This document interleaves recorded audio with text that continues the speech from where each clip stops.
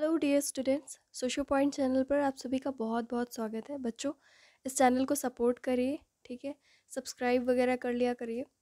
आज हम लोग बीए सेमेस्टर टू के पेपर टू में सेकंड चैप्टर के एमसीक्यूज़ को सॉल्व करने जा रहे हैं ना?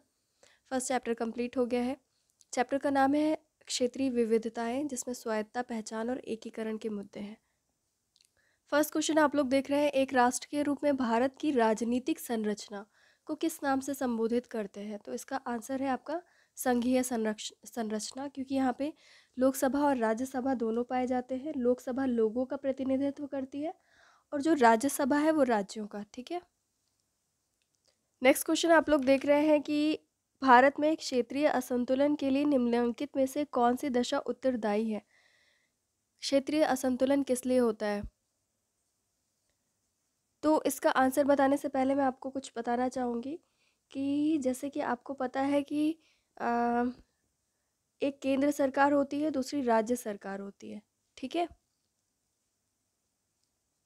तो अगर आप आ, हमारे यहाँ के राज्यों को देखो तो यहाँ के जो क्षेत्र हैं वो एक दूसरे से बिल्कुल अलग अलग हैं। भाषा धर्म ठीक है और रिसोर्सेस इन सारे मामले में सब अलग अलग है। और ख़ास बात यह कि जितनी भी राज्य सरकारें हैं वो अपनी अलग पहचान बनाने की कोशिश करती हैं। और दूसरी चीज़ वो ये कोशिश करती है कि वो अपने एरिया को ज़्यादा से ज़्यादा डेवलप कर पाए और जो केंद्र सरकार है उससे अधिक से अधिक आर्थिक साधन प्राप्त करें। ठीक है? केंद्र सरकार से क्या बोलते हैं? मतलब आ, बजट होता है ना, सबसे मांगते हैं केंद्र सरकार से मांगते हैं कि हमें इतने की ज़रूरत है, हमें अपने एरिया में ये ये डेवलपमेंट करना है। तो वही मतलब कि सारे राज्य सरकारें अपने एरिया को, की स्थिति को मज़बूत बनाने के लिए केंद्र सरकार से वित्तीय सहायता ज़्यादा से ज़्यादा प्राप्त करने की कोशिश करती हैं, ठीक है? और ये भी नियम है कि केंद्र सरकार बाध्य नहीं होती कि वो राज्य को किसी भी विशेष राज्य को आर्थिक सुविधाएँ प्राप्त करे ही कर, दे ही दे मतलब। आर्थिक आर्थिक सुविधाएँ उसको दे ही दे जितना मांग रहे हैं। इसके अलावा व्यवहारिक रूप से देखा जाता है कि जहाँ पे जैसे केंद्र सरकार में जिसकी सरकार है सेंटर में जैसे हमारे यहाँ इस वक्त सेंटर में बीजेपी की गवर्नमेंट है तो जिन जिन राज्यों में बीजेपी की गवर्नमेंट होगी मतलब केंद्र से रिलेटेड जिन जिन राज्यों में भी वो वाली गवर्नमेंट होगी तो वहाँ पर बड़े ही स्वाभाविक रूप से वहाँ पे ज़्यादा हेल्प करती है केंद्र सरकार, ठीक है? ये चीज़ आपको क्लियर हुई कि वहाँ पर आराम से अधिक से अधिक साधन वहाँ के क्षेत्रों के लिए उपलब्ध करवाए जाते हैं। और फिर क्या होता है?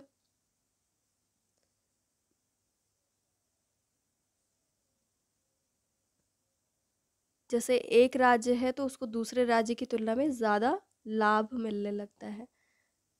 और यहीं से क्या होता है, ये जो हमारे यहाँ संघीय व्यवस्था है, संघीय संरचना कि एक केंद्र है, दूसरा राज्य। इसकी वजह से भी और विविधता की वजह से भी क्या होता है, हमारे यहाँ क्षेत्रीय असंतुलन की दशा आरंभ हो जाती है, ठीक है? तो आंसर आराम से गैस कर सकते हो आप कि किसकी वजह से होता है क्षेत्रीय संतुलन? सत्तारूढ़ दल जो होता है सत्तारूढ़ राजनीतिक दल के स्वार्थ की वजह से। सबको इक्वली प्रोवाइड करे, है ना? कोई एक क्राइटेरिया सेट होना चाहिए कि किसको कितना देना है। तो इस तरीके से कुछ होता नहीं है तो जिसकी वजह से क्या होता है लोग? संजातीय हो जाते हैं साथ में। इक्वल महसूस नहीं करते तो इस तरीके की कुछ चीज़ें होती हैं तो वो असंतुलित हो जाता है, क्षेत्रीय असंतुलन पैदा हो जाता है, ठीक है? ये आप क्वेश्चन पिछले वाले वीडियो में सॉल्व कर चुके हो, ये मैं नहीं बताऊँगी आपको। फ़र्स्ट चैप्टर में आपने सॉल्व किया है, ठीक है? फोर्थ क्वेश्चन क्या है आपका? संजातीय विभिन्नताएँ तब क्षेत्रीय विविधताओं में वृद्धि करने लगती हैं जब क्या होता है? जो संजातीय भिन्नताएँ हैं, वो तब क्षेत्रीय विविधताओं में वृद्धि करने लगती है, कब? संजातीय भिन्नताओं का मतलब समझते हो कि अगर किसी धर्म, भाषा इस तरीके की चीज़ों को लेकर के कोई डिफरेंसेस है, ठीक है? जैसे एक एरिया में कुछ एक रिलीजन के लोग ज़्यादा हैं, ठीक है? तो वो रिलीजन रिलीजन क्या कहला, क्या कहता है? मतलब मैं बेस्ट हूँ, मैं श्रेष्ठ हूँ। तो इस तरीके की कुछ कंडीशन होती है। जैसे सांस्कृतिक भिन्नता होना समाज में, ये तो बहुत ही ज़्यादा नॉर्मल सी बात है। और भारत में जो सांस्कृतिक भिन्नता है, यहाँ पर इन सांस्कृतिक भिन्नताओं में एकीकरण होना चाहिए, सहयोग होना चाहिए, लेकिन यहाँ पर उसका उल्टा है। यहाँ पर लोग बड़े पूर्वाग्रही हैं। पहले मतलब जो उनके दिमाग में बना हुआ है वो ही मानते चले चलते हैं और विरोध करते हैं कि हमारी संस्कृति बेस्ट है, ठीक है? ये नहीं कि सारी संस्कृतियाँ जैसे मध्यकाल में मिलजुल करके रहती थी, वैसा नहीं है अभी। हमारे यहाँ बोला जाता है कि भारत की धर्मनिरपेक्ष संरचना है। धर्मनिरपेक्ष संरचना का मतलब क्या होता है? कि सारे धर्म इक्वल है। कॉन्स्टिट्यूशन सारे धर्मों के साथ इक्वल ट्रीट करती है। और ख़ास बात ये कि धर्म से संबंधित मामलों में कोई भी हस्तक्षेप गवर्नमेंट नहीं करती है। प्रचार प्रसार वगैरह का फ्रीडम दिया हुआ है। तो यही एक कारण है कि जिसकी वजह से क्या होता है, धार्मिक स्वतंत्रता जो लोगों को मिली हुई है, वो हमारे समाज में अव्यवस्था और धार्मिक उन्माद का सिचुएशन लेकर के आ जाती है। ठीक है? जैसे कि मैंने अभी बताया कि किसी एक खास क्षेत्र में किसी विशेष धर्म के अनुयायियों की संख्या बहुत अधिक है। और तो वहाँ पे क्या होगा फिर? आ, जैसे मान लीजिए कोई एक्स धर्म है। ठीक है और वाई ये दो धर्म है एक एरिया के अंदर और एक्स की पॉपुलेशन बहुत ज़्यादा है। तो एक्स से कोई अगर कैंडिडेट खड़ा हो जाता है इलेक्शन में तो यहाँ पे क्या होगा? इसके तो बहुत कम है। तो एक्स वाले अगर एक्स धर्म वाले ही इस पर्सन को बहुत सारा वोट दे देंगे तो यही यही जीत जाएगा। तो ये हमेशा क्या करेंगे वाई वाले हमेशा अलग थलग महसूस करेंगे और इनके अंदर भी विरोध की भावना और इवन ये लोग दंगे, फसाद ये सब करने पे भी उतर सकते हैं। ठीक है? तो ये सारी चीज़ें होती हैं। इसके अलावा जैसे हमारा समाज संजातीय भिन्नताएँ तो बहुत सारी हैं इसमें। लेकिन यहाँ पे दिक्कत कब होती है कि जब यहाँ जैसे आ, कोई त्योहार मना रहे हैं कोई उत्सव मना रहे हैं तो उसको इस तरीके से मनाने मनाने की कोशिश करते हैं? मतलब आ, वो लोग जैसे मैंने बताया ना जैसे एक्स रिलीजन के लोग ज़्यादा हैं तो वो लोग इस तरीके से फिर मनाने की कोशिश करते हैं अपने उत्सव को कि वो अपनी पावर दिखाने की कोशिश करते हैं। कि मतलब जैसे हम लोग अगर कोई उत्सव मनाते हैं कोई फेस्टिवल मनाते हैं इस तरीके की कोई आ, मतलब खुशियों खुशियों को सेलिब्रेट करते हैं ना बांटते हैं आपस में इन सारी चीज़ों के नाम पे लेकिन ये लोग क्या करते हैं कि इसके थ्रू वो लोग ये दिखाने की कोशिश करते हैं कि हम सबसे ज़्यादा पावरफुल हैं। तो जिससे क्या होता है, विरोध की भावना दो दलों में पैदा हो जाती है।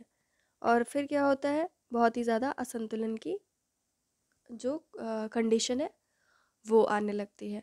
और क्योंकि गवर्नमेंट ने तो ऐसा कुछ डिसाइड नहीं किया कि ऐसे ही मनाना है, आपको फेस्टिवल ऐसे नहीं मनाना है। क्योंकि गवर्नमेंट तो लोगों के बिलीव्स में कुछ भी क्रिएट नहीं करना चाहती डिस्टरबेंस तो ये सारी चीज़ें हैं जो प्रॉब्लम क्रिएट करती हैं। तो आप ये देख सकते हो कि संजातीय भिन्नताएँ क्षेत्रीय विविधताओं को में कब वृद्धि करती है। तो इसका सही अप्रोप्रिएट आंसर होगा कि जब अल्पसंख्यक वर्ग लिखा हुआ है। तो यहाँ पे सही आंसर होना चाहिए डी कि विशेष धर्म के अनुयायियों में धार्मिक उन्माद अगर बढ़ने लगे तो क्या होगा? लोग एक दूसरे को आपस में एक नहीं समझेंगे। वो लोग सोचेंगे कि ये हमारे दुश्मन है है ना? तो इस तरीके का आंसर होगा आपका डी। फिफ्थ क्वेश्चन क्या है? निम्नांकित में से निम्नांकित राज्यों में से किस राज्य की जनजातीय जनसंख्या का प्रतिशत सबसे ज़्यादा है। तो अगर राज्यों की जनसंख्या के प्रतिशत के दृष्टिकोण से देखें तो वैसे तो राजस्थान इसके ऑप्शन में नहीं दिया है तो राजस्थान की जनसंख्या का जनजातीय जनसंख्या का प्रतिशत सबसे ज़्यादा है, ठीक है? उसके बाद किसका नाम आता है? झारखंड का नाम आता है देन छत्तीसगढ़ का नाम आता है। तो ये जो सेंसस का डेटा बताया मैंने ये 2001 का आपको बताया है। और आ, इन चीज़ों का सीक्वेंस बता देती हूँ तो आप लोग इसको सीक्वेंस में लगा लीजिए परसेंटेज के हिसाब से। सबसे ज़्यादा राजस्थान का तो नहीं है। मैंने चेक किया है तो छत्तीसगढ़ का है thirty one point seven six percent. समझ गए? तो thirty six, thirty one point seven six percent Chhattisgarh का है तो यही टॉप है। देन नाम आता है झारखंड का twenty six point three zero percent. Then नाम आया है राजस्थान का twelve point five six percent. ठीक है? बिल्कुल भी कंफ्यूज मत होइएगा। थोड़ा सा डेटा अपोजिट सीक्वेंस में पहले लगा हुआ था। तो फिर से मैं आपको बता देती हूँ कि सबसे पहले आता है किसका नाम? छत्तीसगढ़ का thirty one point seven six percent then Jharkhand twenty six point three zero percent then Rajasthan twelve point five six percent ये उस स्टेट की कितनी पॉपुलेशन का कितना परसेंट जनजाति है, उसके हिसाब से क्वेश्चन है। और अगर पूछे कि आ, कौन से स्टेट में सबसे ज़्यादा पॉपुलेशन है ट्राइब्स की तो आप क्या कहोगे? मध्य प्रदेश। अगर हम गिनतियाँ करें आ, लोगों की जनजातियों की जनजातियों के मतलब कितने लोग हैं तो हम मध्य प्रदेश कहेंगे। ठीक है? वैसे अगर परसेंटेज की बात करते हैं तो मैंने आपको बता दिया। द नेक्स्ट क्वेश्चन है आपका। भारत के किस क्षेत्र में जनसंख्या की जनसंख्या में जनजातीय जनसंख्या का प्रतिशत सबसे ज़्यादा है। तो आपका प्रतिशत की बात हो रही है तो पूर्वोत्तर भारत में सबसे ज़्यादा परसेंटेज पाया जाता है, लेकिन जनसंख्या के मामले में पूर्वोत्तर भारत पीछे है, लेकिन परसेंटेज के मामले में सबसे आगे है। द नेक्स्ट क्वेश्चन आप लोग देख रहे हैं, निम्नांकित में से कौन सी एक दशा भारत में केंद्र और राज्य सरकारों के बीच तनाव का कारण नहीं है? तो जब ये लोग, ये सारे ऑप्शंस पढ़ोगे आप लोग तो आराम से कर सकते हो। बी ऑप्शन इज़ करेक्ट बहुत इजी है। किस आयोग के द्वारा क्षेत्रीय भिन्नताओं तथा स्वायत्ता के संदर्भ में केंद्र सरकार को सिफारिशें सिफारिशें प्रस्तुत की गई? देखो आ, जो आपका क्षेत्रीय भिन्नताएँ और स्वायत्ता के संदर्भ में जिसका नाम आता है वो आपका चिदम्बरम आयोग है। ये रिजर्वेशन से रिलेटेड था। ये कुछ कश्मीर परिसीमन से रिलेटेड था। ठीक है, ये भी डिफरेंट है। आंसर है आपका चिदम्बरम आयोग। नेक्स्ट क्वेश्चन है आपका, भारत में आर्थिक और सांस्कृतिक भिन्नताओं से उत्पन्न होने वाला कौन सा एक मुद्दा है? तो अभी आपको इतना लंबा एक्सप्लेन किया था वो बजट वाला वित्तीय सहायता वाला केंद्र सरकार से। तो उसमें आर्थिक वाला आ गया और संजातीयता मतलब सांस्कृतिक वाला आ गया। तो क्या समझा रही थी मैं आपको? क्षेत्रीय विविधता के बारे में बता रही थी ना तो क्षेत्रीय पहचान का मुद्दा आर्थिक और सांस्कृतिक भिन्नताओं से उत्पन्न होने वाला एक प्रमुख मुद्दा है। देन नेक्स्ट क्वेश्चन है, क्षेत्रीय असमानताओं की समस्या निम्नांकित में से किस समाज से अधिक संबंधित है? ये आपको लर्न करना पड़ेगा, विकासशील समाज।